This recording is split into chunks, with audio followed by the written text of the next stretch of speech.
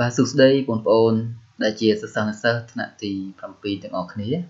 អញ្ចឹងថ្ងៃនេះយើងបន្តមេរៀនរបស់យើងបន្តទៀតជាមួយនឹងកម្មវិធី Code.off បាទ Web Development ទៅលើមេរៀនទី6លើ list ណាបាទអញ្ចឹងដែលបរៀនដោយលោកគ្រូសុផានយួរជាគ្រូបង្រៀនមុខវិជ្ជាព័ត៌មានវិទ្យាក្នុងកម្មវិធីសាលារៀនចំនួនថ្មីនៃវិទ្យាល័យព្រះលៀប បាទអញ្ចឹងថ្ងៃនេះមុននឹងយើងតចូលទៅមេរៀនថ្មីរបស់យើងគ្រូសូមរំលឹកមេរៀនដែលយើងបានរៀនកាលពីសប្តាហ៍មុនជាមុនសិន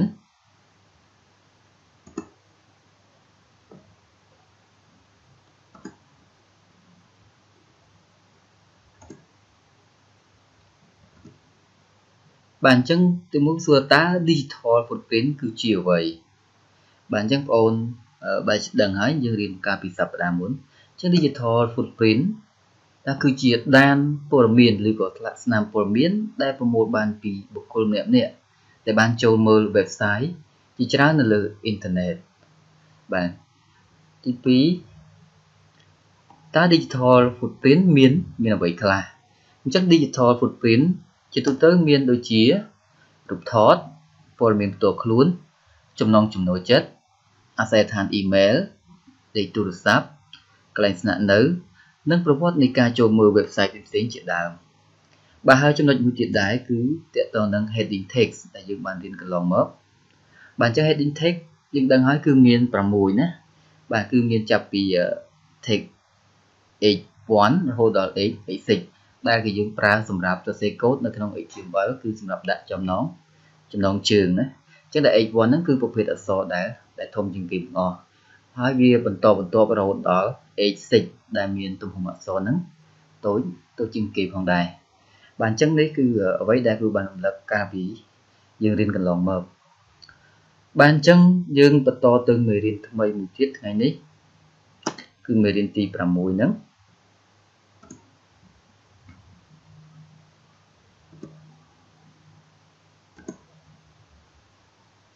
បាទមេរៀនទី6 list ដែលយើងប្រែជាខ្មែរអាចថាបញ្ជីបាទក្នុងមេរៀននេះដែរអញ្ចឹងគឺចង់ឲ្យបងអូនចេះទីមួយគឺប្រើប្រាស់កូដ OL UL និង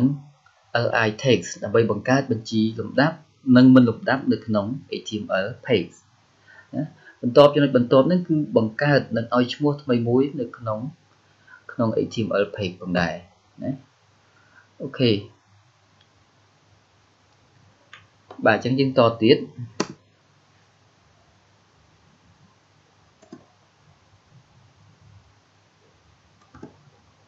អញ្ចឹងយើងមកមើលកូដថ្មីណាអញ្ចឹងកូដថ្មីដែលយើងត្រូវរៀននិងដើម្បីយកទៅអនុវត្តថ្ងៃនេះគឺមានដូចជាបាទទីមួយគឺ OL ណា OL ចឹង OL នេះគឺប្រើដើម្បីកំណត់បញ្ជីដែលមានលំដាប់លំដោយហ្នឹងដែលជាអាចជាលេខឬក៏អក្សរក្រមណាដែលយើងហៅថាជាអក្សរបាទចំណុចបន្ទាប់គឺ UL ណា UL tag ហ្នឹងគឺសម្រាប់កំណត់បញ្ជី ដែលគ្មានលំដាប់ឬក៏សម្រាប់ដាក់ចំណុចចំណុចដាក់បន្ទាត់ដូចសញ្ញាដូចអីហ្នឹងដែលយើងប្រើនៅក្នុង Word ហ្នឹងគឺសញ្ញាដាក់បន្ទាត់គឺយើងប្រើ bullet ប៉ុន្តែនៅក្នុងកូដ HTML គឺយើងប្រើ UL ណា បាទអញ្ចឹងហើយមួយទៀតដែរគឺយើងភ្ជាប់ជាមួយនឹងខាងលើគឺគឺយើងប្រើ li ដើម្បីបង្កើតបញ្ជីដែលគ្មានលំដាប់ណាបាទអូខេនេះជាកូដទាំង3នេះដែលយើងត្រូវរៀនឬក៏ជាកូដថ្មីណាសម្រាប់ឲ្យយើងយកទៅអនុវត្តនៅក្នុងលំហាត់បាទយើងតទៅចំណុចមួយទៀត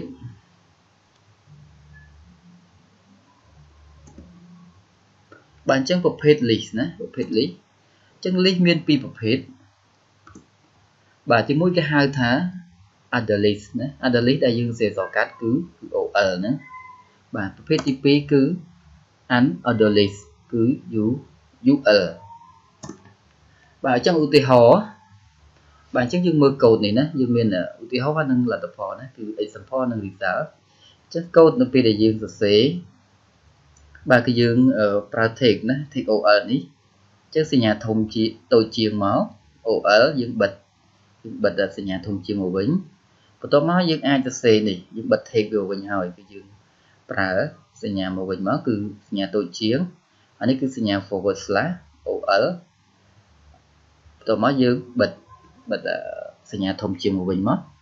បាទហើយនៅក្នុងនេះយើងសរសេរយើងសរសេរគឺយើងប្រើ take li ណា li អញ្ចឹងយើងចង់សរសេរប៉ុន្មានក៏បានដែរនៅក្នុងចំណុចទាំងអស់នេះណាអញ្ចឹងឧទាហរណ៍យើងមាន3ចំណុចនេះអញ្ចឹង li ណាអញ្ចឹងយើងបើក take li មក step 1ទៅមកយើងបិទវិញណាបាទអញ្ចឹង li step 2បិទវាវិញមករហូតដល់ step 3អញ្ចឹងបើយើងចង់បន្តទៀតយើងគ្រាន់តែសេបន្តទៀតមកដាក់ li step 4 step 5 6 whole high មកណាបាទ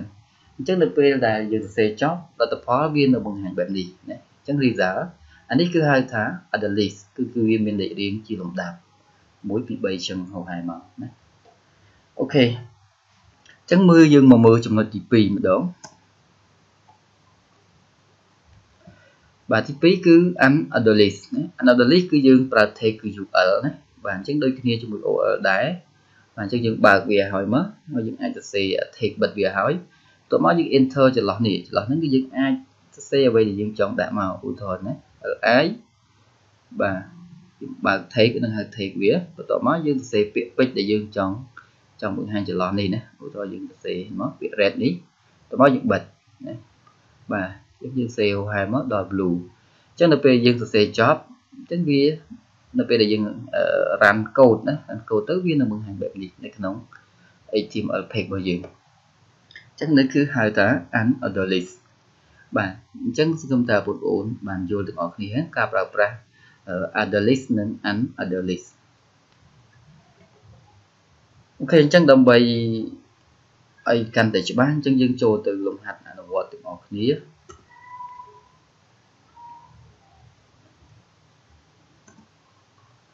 បាទអញ្ចឹងយើងចូលទៅកម្មវិធី Code.org ណា Studio Code.org មកហើយចំពោះបងប្អូនអញ្ចឹងយើង បន្ទាប់ពី sign in នៅក្នុង account របស់យើងហើយសូមបងប្អូន join section ណាដើម្បីចូលទៅក្នុងកម្មវិធីដើម្បីរកមេរៀនដែលយើងត្រូវធ្វើលំហាត់បាទអញ្ចឹងគឺនៅកូដ6ខ្ទង់នេះណាបាទអញ្ចឹងយើងចូលទាំងអស់គ្នា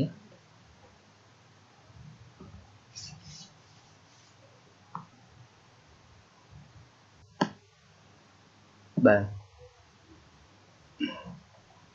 បាទអញ្ចឹងដើម្បី join section គឺយើងបន្ទាប់ពី sign in នៅក្នុង account code.org របស់យើងហើយសូមបងប្អូនចុចលើ my dashboard នេះមក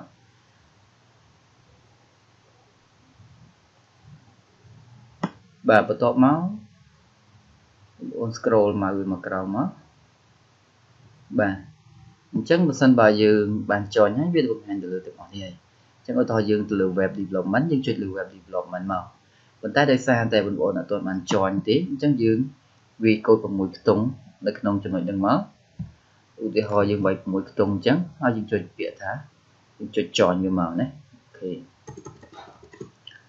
បាទ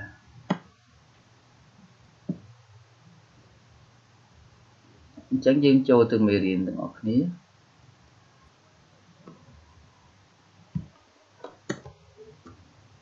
ដល់បន្ទាប់ពី យើងកន្លែងនេះយើងវាយ email របស់យើងមក email របស់គ្រូបាទហើយ password ហើយយើងចុចលើពាក្យថា sign in មក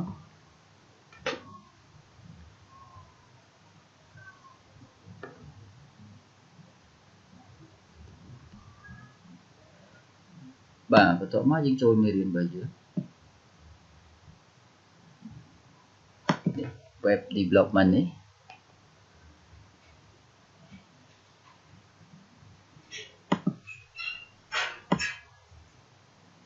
បាទអញ្ចឹងបន្តមកយើង scroll ទៅរកមេរៀនទី6របស់យើងគឺ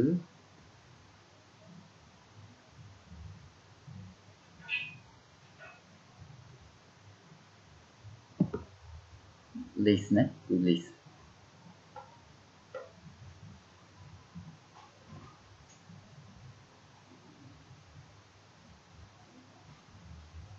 បាទនេះយើងមើលទី1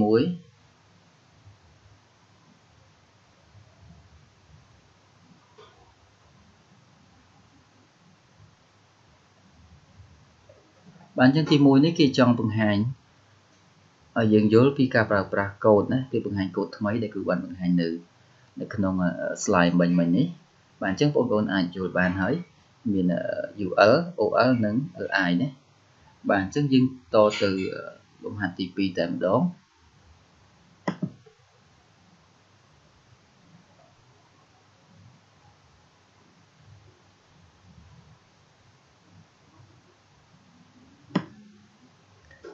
បាទអញ្ចឹងយើងមើល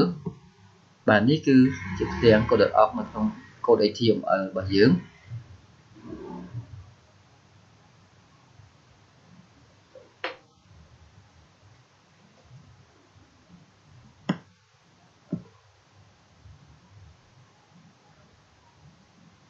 បាទនេះគឺជាផ្ទាំងនៅក្នុង code HTML របស់យើងណានៅក្នុងកម្មវិធី code.org ហ្នឹងបាទអញ្ចឹងចំណុចនេះគឺ instruction បាទហើយនៅក្នុងផ្នែកខាងក្រោមនេះគឺមានចំណុចដែលយើងសរសេរកូដហើយនឹងចំណុចឲ្យបង្ហាញ result បង្ហាញលទ្ធផលណាបាទអញ្ចឹងត្រង់ចំណុចសរសេរកូដគឺវាមានប៊ូតុង4ដែលយើងប្រើប្រាស់អញ្ចឹង add html នេះគឺសម្រាប់ឲ្យយើងសម្រាប់ឲ្យយើង បង្កើត file ថ្មីណាបាទហើយ add CSS សម្រាប់ style យើងរៀនអត់ទាន់ដល់ទេបាទហើយមួយទៀតគឺយើង add image សម្រាប់ឲ្យយើងអាចដាក់រូបភាពហើយនឹងយើងមើលប្រវត្តិនៃចំនួនរបស់កម្មវិធីនេះបាទបាទហើយនេះគឺ result ណាក្នុង result គឺមាន inspect ណា inspect inspector ណា tool inspector សម្រាប់ឲ្យយើង មើលកូដតើយើងពេលដែលយើងកែហ្នឹងវាបង្ហាញចំណុចណាចំណុចណាហ្នឹងនៅពេលដែលយើងចុច on ចុច on ឧទាហរណ៍យើងចុចលើកន្លែងពាក្យនេះណា Scott Charles នេះអញ្ចឹងវាបង្ហាញលើណានេះបាទអញ្ចឹងរូបទាញនេះអាចលើបន្តិចមកចឹង description លើណាណាអានេះជា paragraph វាកន្លែងណាអញ្ចឹងមកបាទហើយយ៉ាងកន្លែង refresh and save នេះគឺចំណុចដែលយើងនៅពេលដែលយើងកែកូដចំណុចនេះហើយ យើងចុច refresh and save មកអាកន្លែងចំណុចនេះវានឹងដូរហើយបាទអូខេអញ្ចឹងយើងអាចយល់បានឥឡូវមើលក្នុងចំណុច exercise 2នេះគឺចង់ឲ្យយើងធ្វើអ្វីខ្លះអញ្ចឹងឧទាហរណ៍ថានៅត្រង់ចំណុចយើងមួយចំណុចខាងក្រោមនេះកន្លែងចំណុចនេះវាមានបាត់សញ្ញាដើមបន្ទាត់មួយអញ្ចឹងឲ្យបងអូនកែតម្រូវឲ្យត្រូវណាបាទអញ្ចឹងចំណុចនេះគឺយើងធ្វើម៉េច បាទហើយមួយទៀតគឺខាងក្រោមមួយដែរគឺយើងចង់ដាក់លេខរៀងដែលនេះប៉ុន្តែដោយសារតែគ្រូបានដាក់ហើយដែលនេះអញ្ចឹងយើងអាចថែមវាដោយខ្លួនឯងមកចំពោះកម្មវិធីយើងឬក៏យើងនៅក្នុង account របស់យើងដែលយើងបានបង្កើតថ្មីបាទអញ្ចឹងយើងមើលគឺបង្ហាញទៅខាងលើបន្តិចអញ្ចឹងកន្លែងឧទាហរណ៍ one cup sugar នេះយើងចង់បន្ថែមឲ្យវាចេញសញ្ញាចុចខាងមុខនេះ ចេញជា another list នេះអញ្ចឹងអត់ពិបាកទេយើងគ្រាន់តែនេះយើងវាយពាក្យណាយើងបើក take មក li បាទបន្ទាប់មកយើងបិទនៅខាងចុង clear វិញ forward slash li មកវិញមកណាអញ្ចឹងយើងចុច refresh and save នេះក៏បានបន្ទាប់មកយើងមើលនេះនេះយើងមើលអ្វីដែលយើងបានកែនេះបាទយើងចេញនេះបាទអញ្ចឹងតន់ហើយ អញ្ចឹងបើសិនយើងលុបចំណុចណាមួយឧទាហរណ៍ថាគឺលុបខាងក្រោមនេះណាលុបខាងក្រោមនេះអញ្ចឹងវាមានអ្វីកើតឡើងណាបាទអញ្ចឹងយើងឃើញនេះវាបាត់នេះណាអញ្ចឹងយើងអាចអានឌូវាមកវិញមកអានឌូវាមកវិញមក ចឹងវានៅបង្ហាញដូចដើមវិញហើយបាទឲ្យចំណុចមួយទៀតដែលយើងកែលេខរៀងខាងក្រោមនេះគឺត្រង់ពាក្យ code នេះណា code ដល់ពាក្យ Sotony នេះអញ្ចឹងពេលយើងចុចចំណុចណាវានឹងបង្ហាញ tool នៅត្រង់ចំណុចនេះយើងប្រើ inspector យើងចុច on មកបាទអញ្ចឹងវាកូដឡើងចំណុចនេះអញ្ចឹងបើសិនបើយើងក៏នៅក្នុង account របស់យើងអត់ទាន់មានអញ្ចឹងវាចេញយ៉ាងម៉េចនេះ inspector របស់យើង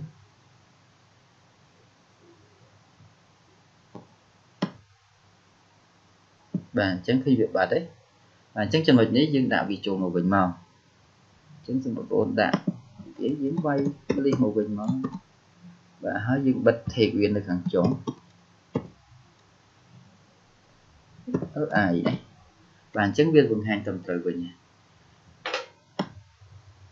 បាទបន្ទាប់ហើយយើងចុច finish មក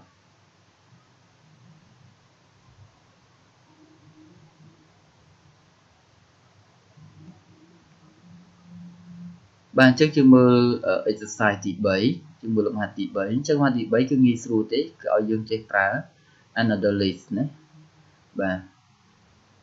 អូខេ ចុះយើងមើលកន្លែង do this នេះបាទអញ្ចឹងគេឲ្យយើងប្រើ UL ហើយនិង UI ណាប្រើ UL និងនិងនឹង LI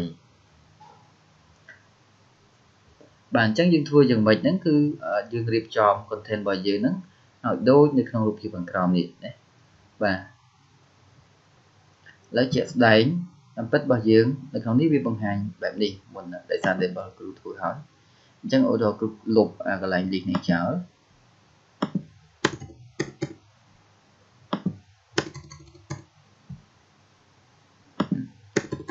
ចឹងវាបានទៅវិញអញ្ចឹងវាអត់មានលំដាប់លំដោយទេវាចេញបែបនេះណាបាទអញ្ចឹងបងប្អូនគ្រាន់តែ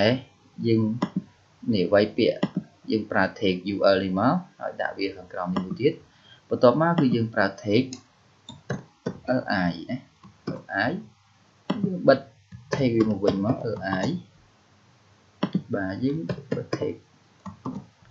បើក i មកបិទ table មកវិញបាទធ្វើដូចគ្នាអញ្ចឹងមក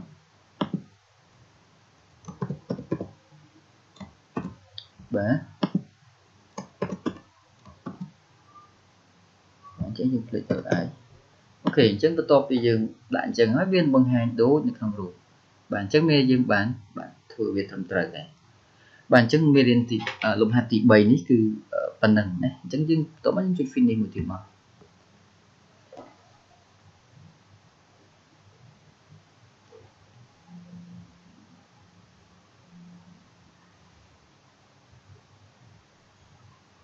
បាទអញ្ចឹងយើងលំហាត់ទី4ក៏មិនខុសពីទី3ប្រហែលដែរគ្រាន់តែឲ្យយើងប្រើប្រភេទ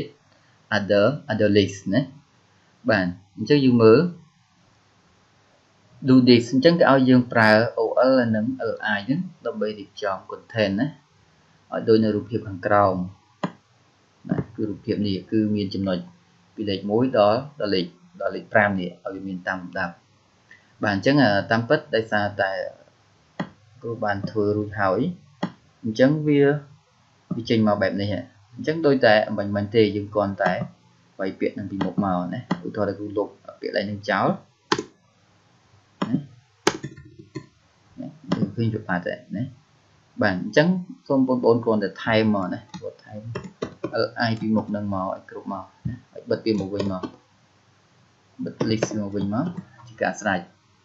បាទអញ្ចឹងប៉ុណ្ណឹងបន្ទាប់ពីយើងចេញ មើលត្រង់ចំណុច result វាបង្ហាញបែបនេះអញ្ចឹងមានតែយើងធ្វើបានបានត្រឹមត្រូវអ្វីដែលគេចង់បាននៅក្នុងលំហាត់នេះហើយ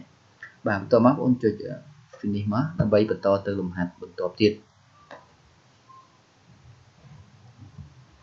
បាទអញ្ចឹងទី5ទី5គឺគ្រាន់តែឲ្យបងអូនមើលហើយភូកងណាអញ្ចឹងនេះគឺគឺជាលទ្ធផលបាទហើយនេះគឺគឺជាកូដអញ្ចឹងសូមបងប្អូនពិនិត្យមើលកូដមួយណាដែលត្រូវជាមួយនឹង លទ្ធផលនេះអញ្ចឹងបងប្អូនគ្រាន់តែទាញមកណាឧទាហរណ៍នេះយើងទាញវាយកមកដាក់នៅក្នុងសញ្ញាសួរនេះមកណាបាទអញ្ចឹងគិតថាមួយណាដែលត្រូវជាមួយលទ្ធផលមួយមួយដែលបង្ហាញផ្នែកខាងឆ្វេងនេះអញ្ចឹងយើងទាញអាកូដ block ណាកូដនេះដាក់នៅតាមសញ្ញាសួរនឹងមកបាទអញ្ចឹងចំណុចទី5គឺប៉ុណ្ណឹងអញ្ចឹងគ្រូទុកឲ្យបងប្អូនអ្នកធ្វើតែខ្លួនឯងចំណុចនេះបាទ អូខេអញ្ចឹងថ្ងៃនេះគឺសូមបញ្ចប់ត្រឹមនេះសិន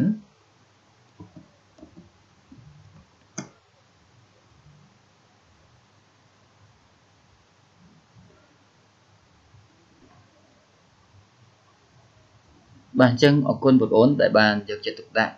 ក្នុងការសិក្សាលើវីដេអូបង្រៀនរបស់យើងអញ្ចឹងសង្ឃឹមថាបងប្អូននឹងមើលមេរៀនឡើងវិញហើយនឹងធ្វើ quiz នៅក្នុង Google Form ទាំងអស់គ្នាណាបាទហើយចំពោះក្នុងកម្មវិធី Code.org បងប្អូនត្រូវយកកូដ6ខ្ទង់ដែលគ្រូដែលគ្រូបង្ហាញនៅក្នុង slide ហ្នឹងចងចូលនៅក្នុង កម្មវិធីដើម្បីធ្វើលំហាត់មកនេះគឺសម្រាប់បន្ថែមបន្ទុកណាទៅលើការកត់មេរៀនឬក៏កិច្ចការផ្ទះ